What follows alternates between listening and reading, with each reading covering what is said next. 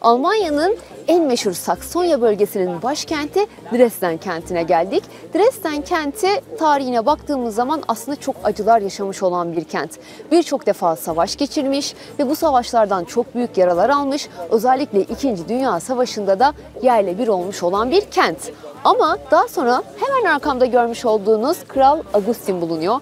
Agustin'le beraber burası eski gücüne tekrar kavuşmuş. Kendisi çok önemli bir hükümdar olmuş ve kendi tahta geçtikten sonra bölgenin gelişmesi için çok çalışmış. Üç tane büyük özelliği olan bir kraldı. Birincisi çok zengindi. O zamanlarda kendisi tahta geçtiği sürede Avrupa'da tuz yoktu. Tuz olmadığı için kendisi çok da zengin bir adamdı. Tuz ticareti yaparak zenginliğine daha da zenginlik katmıştı ve bu sebeple de yapmış olduğu reformlarla, yeniliklerle ve ticaretle ve kenti geliştirmesiyle sevilen hükümdarlardan biri oldu. 167 çocukla tarihe geçen en fazla çocuğu olan hükümdar olmuştu ve aynı zamanda da kendisi çok ileri görüşlüydü ve bu sebeple de işte Buranın başına geçtiğinde avı da çok seviyordu kendisi. Buraları geliştirmekte hiç geri kalmamıştı. Bu rengarenk mimariler tarihte bölgede yaşayanların hayatlarını sürdüğü evler ve ticaretin yapıldığı binalardı. Hemen arkamda Kadınlar Kilisesi bulunuyor.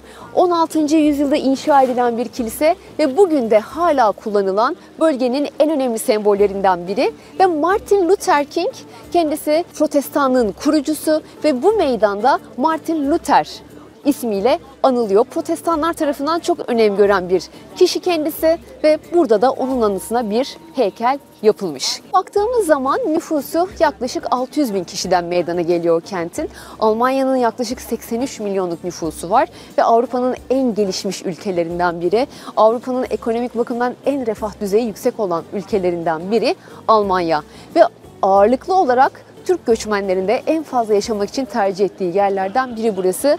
Resmi dili Almanca ve bu serin havasıyla bilinen bir ülke burası. Yazında, kışında Almanya'nın iklimi serindir ve şu anda Eylül ayında olmamıza rağmen kalın montlarımızı giydik. Şemsiyelerimizle yağmurlu bir günde geziyoruz. Tabi bulunmuş olduğumuz Dresden kenti tarihi eserler bakımından çok zengin. Barok mimariler tarafından Art Nouveau mimariler bakımından çok zengin olan bir bölge.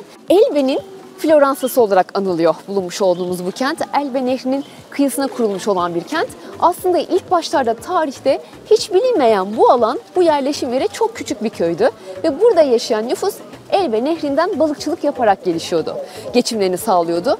E, tabii zaman içerisinde buraya gelen uygarlıklar, medeniyetlerle birlikte kent gelişiyor ve Saksonya bölgesinin bugün başkenti. Gezmeye devam ediyoruz. Hava biraz yağmurlu ama yağmur bizi engelleyemez. Çok güzel keşifler yapacağız Almanya'da Dresden'de.